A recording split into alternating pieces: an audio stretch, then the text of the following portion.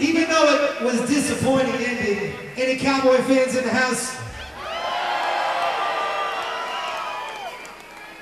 Our coach, Wade Phillips, did his best to bring this team to the Super Bowl. It didn't happen.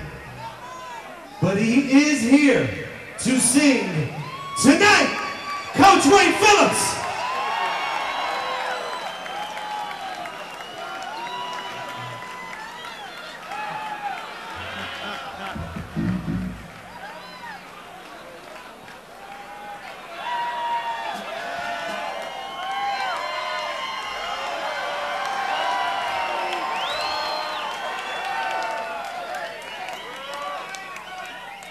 Surprise, I'm here.